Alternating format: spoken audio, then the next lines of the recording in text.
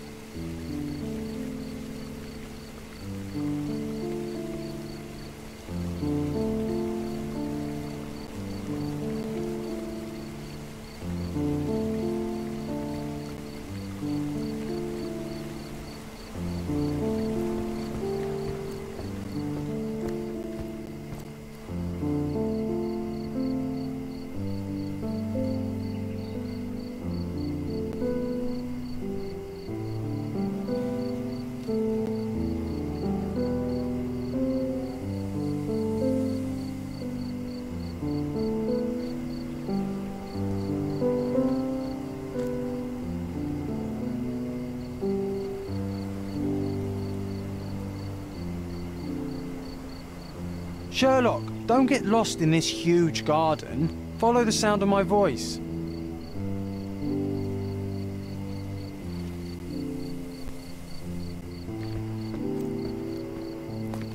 Welcome to Il Palazzo de Lusso, sir. If you need something, sir, please inquire at reception.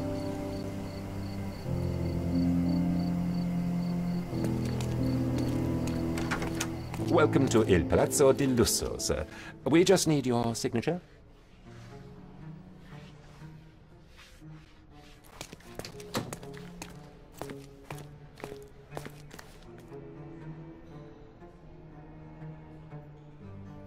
Would you kindly sign these papers, sir?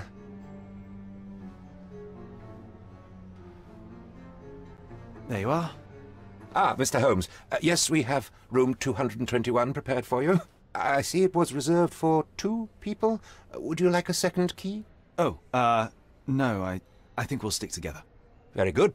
Rooms are upstairs, sir. Welcome to Cordona. Hurry up, Sherlock. I want to see our room. I hope there's a balcony with a view.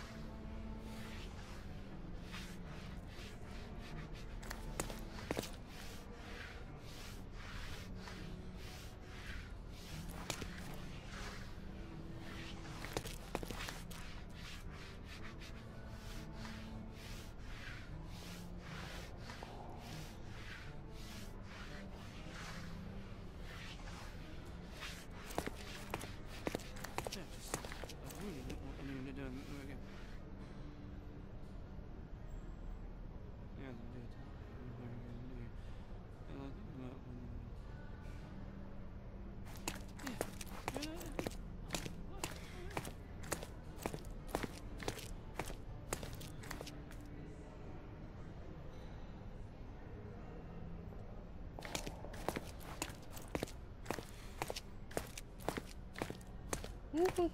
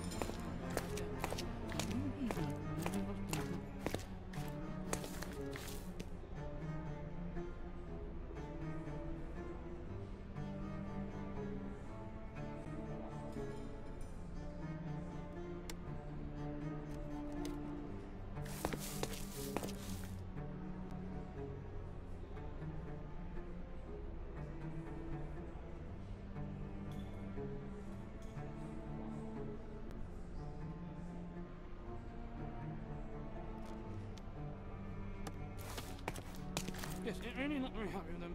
at all.